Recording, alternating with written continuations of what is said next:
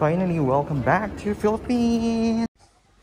Hi everyone! Welcome back sa aking YouTube channel. So, today it's April 12 at exactly 12.30 in the morning. Gising pa ako. Kasi gusto kong simulan yung countdown na 30 days na lang. Nasa Pilipinas na ako. I'm so excited kasi after 5 years and 2 months, makakapagbakasyon ako sa Pilipinas. And inilihim ko ito sa parents ko, hindi ko sinabi. So medyo nalungkot yung nanay ko. Kasi every, parang every mag-uusap kami, tinatanong niya kung uh, matutuloy ba ako magbakasyon, kung may nahanap na akong reliever. Sabi ko, ang hirap maghanap ng reliever. Hindi ko ina-expect na maraming babakasyon ngayon. Wala akong mahanap, kesyo ganyan. Pero hindi niya alam um, meron na akong ticket at the same time naayos ko na rin yung papers ko. So, hinihintay na lang namin yung flight ko sa May 12. So, yung mga um, counting natin every day ay mag aasa ko sa mga kaibigan ko, sa mga kapwa ko vloggers dito sa Israel kung pwede nila akong bigyan ng small clip na sabi na uh, ah, 30 days, 29 days na lang mga ganyan para naman exciting. 29 days na lang. 28 days na lang. 27 days na lang. 23 days na lang. 20 days na lang.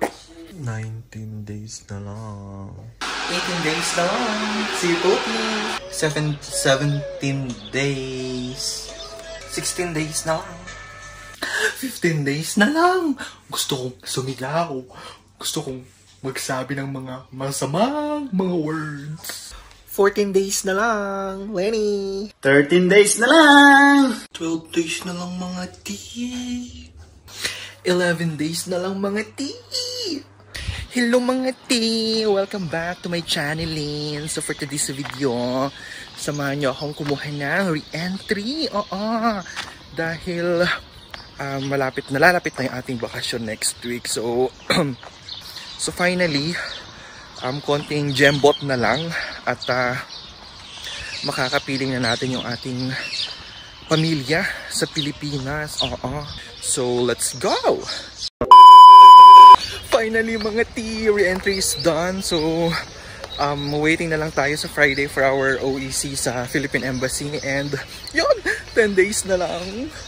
10 days na lang nasa Pilipinas na tayo. So, see you there! Um, so, dahil may makulit akong kaibigan, habang kumakain ako, is 9 days to go na lang. Bye! See you! 8 days na lang! 7 days na lang mga T! 6 days mga T! On the way tayo ngayon sa Philippine Embassy para kumuha ng OEC. Sir, are you awake? I'll just going to inform you I'm going to have a vacation in the Philippines for one half, uh, one month and a half. Okay? So I have my friend here. He's going to take care of you and Max. What? You have to be patient. Madam is also here. Okay? I'll be back next month. What? Not okay? I'm gonna miss you, but I need to visit my family, sir, okay? Uh, I have my friend here. They're going to take care of you. What? They're going to take care of you. I'm gonna miss you, sir. I love you. Do not make me cry. you happy? I will see you next month, okay? Okay, sir. Bye. 3 days. 2 days na lang.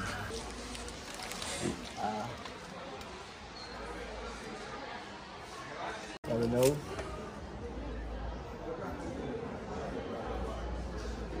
Okay, okay, Tudaraba. See you next month, workplace. And see you Philippines later. See you. Okay, so one day na lang mga T. Nasa Pilipinas na tayo. So ang oras ngayon dito sa Israel ay 4 a.m. At ang call time natin ay 5.30. So susunduin tayo mamayang 5.30. So ibababa lang natin yung ating mga luggage. And um, see you at the airport. Bye! Ang haba ng pila mga T. So habang pipila tayo, i-ready na natin yung mga kailangan nila. Mga um, passport, itinerary ticket, tapos um, negative RT-PCR, tapos yung one health pass. So, tapos na tayo sa border control. Grabe ang higpit nila. Lalo na kung dala mo yung mga gadget mo pang vlog. Sobrang higpit. And see you Dubai in a bit.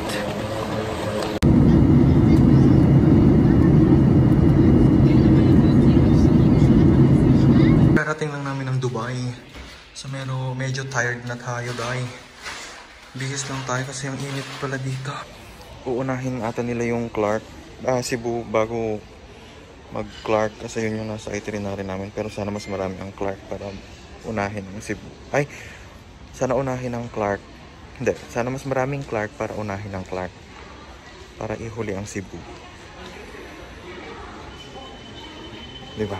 Kasi 31 hours na tayo nagbibiyahe dahil. Ayun, may CR pala. Two hours later. Yung walang pinipili yung puwet ko kahit sa loob ng aeroplano. One eternity later.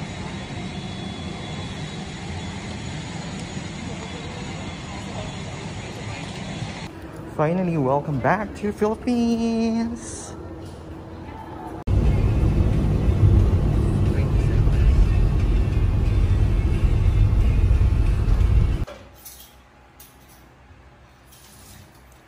Our lunch for today's surprise.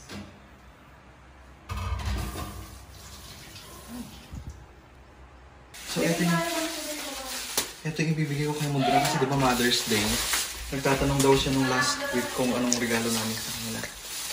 Regalo ko sa kanya. Ay, naya, baka mo na namin. Oo, tumapang kayo, di ba ba? Ano? Tsaka kayo. Sino rin? Ito yung ibibigay. Bukas tayo mga Dapat ako ako ma. Ang init? Yan, dati video ako na. Ay, nanay nga eh. Isantokin ni sa Ito damtan. nga nito na eh. Tawag ka ka sa damon. Dama pa, inadali na na nay. Hi ka. Hi, nanay. kong camera. Okay na tayo. Ni Kuya nga eh. Amos. Sige. Shalom. Okay. One, two, three. Isa pa. eh. One, two, three. Eh, pakita mo ganit ang ngipon mo. Bayan. Sige. Okay, isa pa. eh. Sige, Okay, pakita mo. one, two, three. One, two, three. Okay. Uy.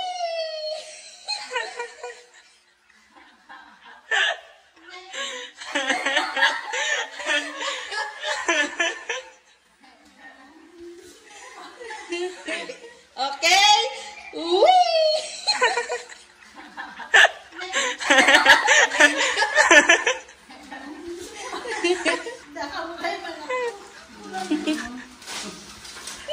Okay,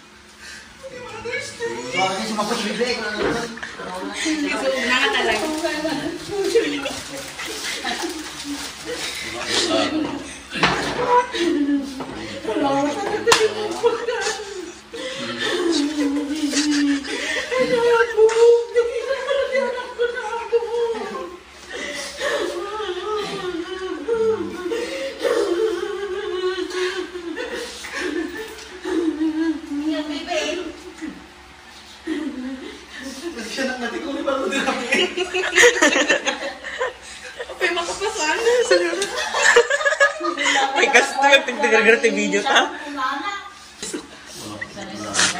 Tayo na na eh. More drama. Iikot talaga dati camera.